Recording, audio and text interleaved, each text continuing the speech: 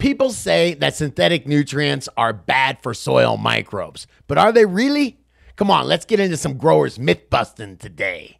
But before we do, today's video is brought to you by Real Growers Grow Dots, the easiest way to feed your high value plants. You mix Grow Dots in once at the beginning of your grow, and they feed your plants all the way to harvest. You don't have to worry about nutrient burn or nutrient lockout. Grow Dots does all the hard work for you. Check them out over at realgrowers.com. And while you're there, use coupon code Scotty420 to get 20% off your first order. Now let's get back to the show. Come on, Hasi. Let's get in a little soil microbe talk, huh? Okay, so you've told me before it's pretty much impossible to grow organic without Yes. soil microbes. Yes. But then I've heard talk about soil microbes not mixing very well with synthetic nutrients. So help me understand this. Sure, sure. I don't know how many billions of types of soil microbes there are as far as genus, species, cultivar, um, but some of them are absolutely required uh, for organic production. When we talk about organic production, you're literally talking about a leaf that has some nutrient in it that gets dropped on the ground, gets broken up by either bugs or uh, bacteria or fungi, and then that is processed in the plant nutrient. So once the bugs process it, then the microbes have to break it down even further. What they're doing is they're mining this nutrient out of it. They're leaving all that carbon, all that extra plant material in your soil. That's why it builds your soil so well. And then they're taking that little bit of nutrient, they've converted it into this ionic form, this plant available form, and they're delivering that to the root zone.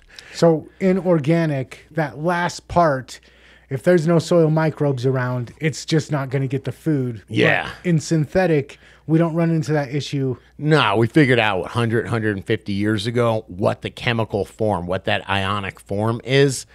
And I guess I was going to say, it turns out it's not that hard to make it. It actually was hard. It took us a long time, but uh, they figured out how to make that synthetically. So, and a lot of people will say, oh, synthetics are dirtier than organics. It's probably the opposite. Organics can have anything from the environment taken in.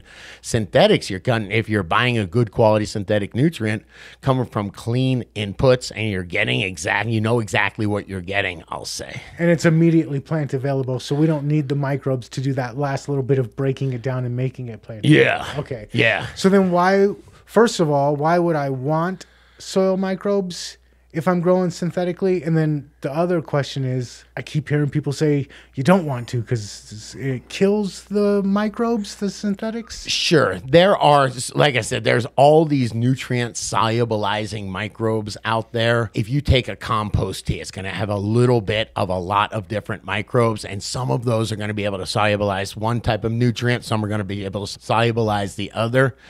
Uh, that's not exactly what that's going to make your nutrient available, nutrient cycling, whatever they call it. We're not going for that when we're doing synthetics. We're actually doing the opposite. We've got tons of available nutrient. And if it touches the, I like call the roots bare wire. If it, touch, if it touches bare wire, there's going to be a reaction. So what we want to do is we actually want to slow that down. We don't want, you know, it's very easy with synthetics to burn your plants if you have mm-hmm. too much. But there's a trick to not having too much touch the roots, but holding a bunch of synthetic nutrient at the root zone at they call it the rhizosphere is this i think the definition is a, the 20th of an inch where the roots meet the soil. And the reason it's a 20th of an inch because that's where the exchange is happening. That's where that mycorrhizae fuzz is. And that fuzz is the wire coating. That fuzz is the buffer. And it's saying hey i'll let some nutrient in I'll give you some carbon in exchange because microbes feed on carbon. I thought they fed on sugar. Hey, don't make me Google this, all right? But I'm pretty sure that sugar is like a combination of hydro, hydrocar- is hydrogen and carbon, I think. There's carbon in sugar, all right, man? Okay. Yes. But the idea is, yeah, they're going to eat that. We talk about the symbiosis, right? So there's that nutrient exchange. The plant gets carbon, the plant brings the nutrients from the soil. Uh, if you have enough microbes there, then you're regulating that root zone. I like to call it the port right there. You, the microbes are regulating that because if there's too much salt, if there's too much fertilizer that comes in, that's going to destroy their whole ecosystem. It's going to mess up the whole game for them. So for organic, Yes. there's microbes that go out and grab the nutrients, pull them to the plant, make it to where the plant can actually absorb them. Can I interrupt you for one second? Yeah. Of course I will. I'm Scottus Interruptus. uh, but you've got a bunch of different microbes doing a bunch of different jobs. They all have to solubilize very different nutrients, micros, macros.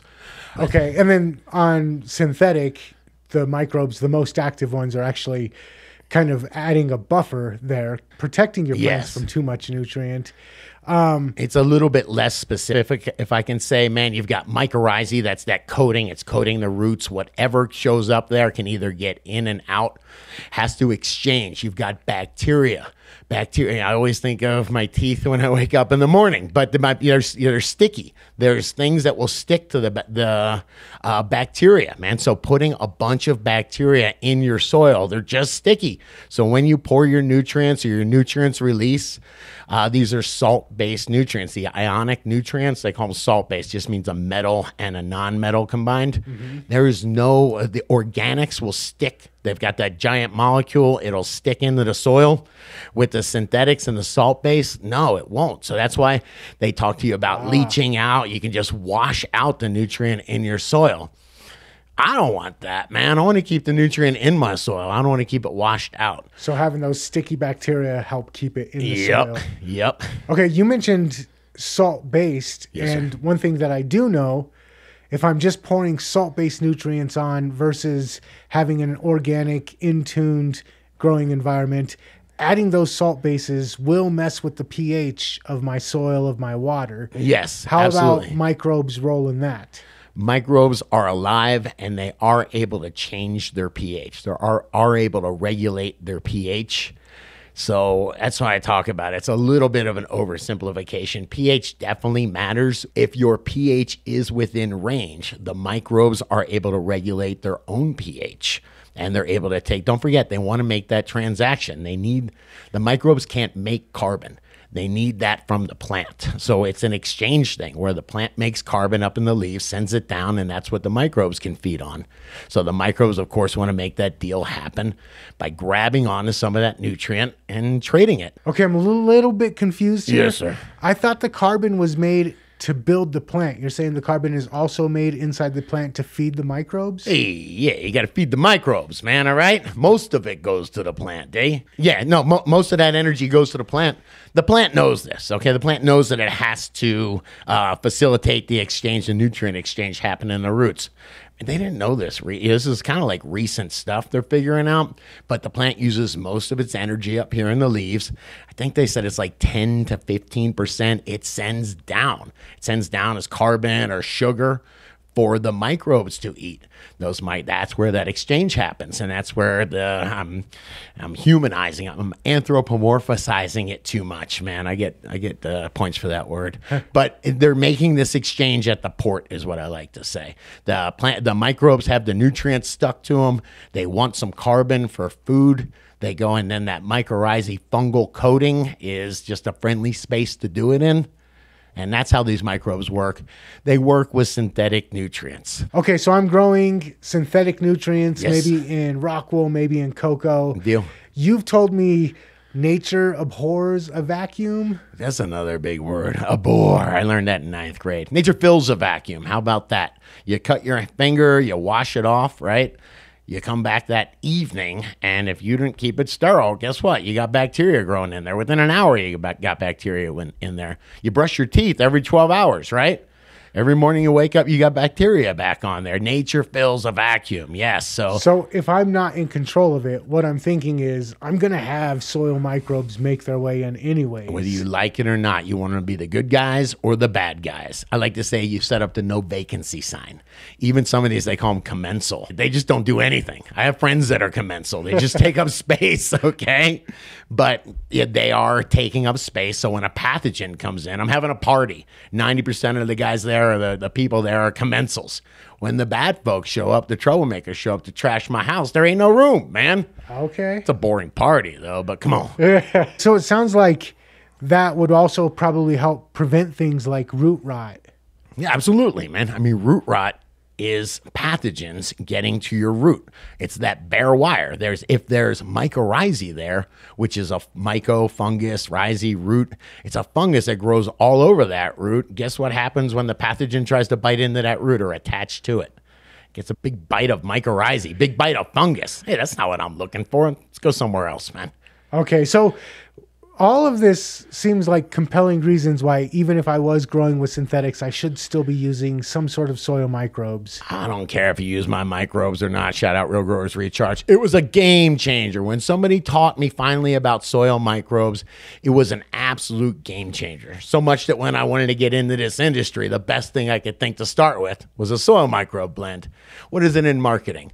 This is so good. I gotta tell somebody, man. yeah, exactly. Right? So then let's go back to the very beginning of today's video where I asked, because I have heard people say, yes, synthetic nutrients kill soil microbes. Where does that come from? Is there any legitimacy to that? Yeah, because compost tea, if you're brewing a compost tea that is complex and fragile, a lot of nutrient, I'm sorry, a lot of uh, different bacteria in there, maybe not crazy amounts of one or the other, but a real diverse amount of bacteria or diverse consortium of bacteria, and you throw that on some salt-based nutrients or something, a bunch, you know, high EC or high ppm salt-based nutrients, most of those microbes are not adapted for that. You just brewed those in a, you know, in a compost brewer.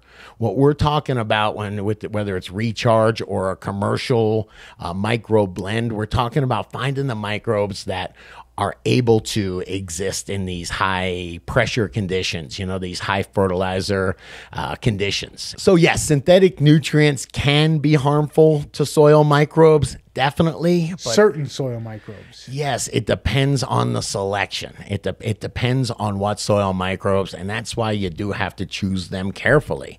Putting compost tea, a really good compost tea, on your plants indoors with salt based fertilizer is not going to do nearly as good as putting a micro package that is designed for it like recharge. Okay, today's episode definitely felt like a science. Le- we used a lot of big words today. Did we? I thought at least three I counted. All right, man. Anthropomorphized doesn't count because it had nothing to do with microbes, damn it. Hey, but that's just my opinion. What about you? What do you think? Come on, let me know in the comments. And if you dug this video, please hit that like button, smash that subscribe button, talk about this one with another grower you know, and check out the other couple videos YouTube is recommending. Hi-C is sure you're going to like them.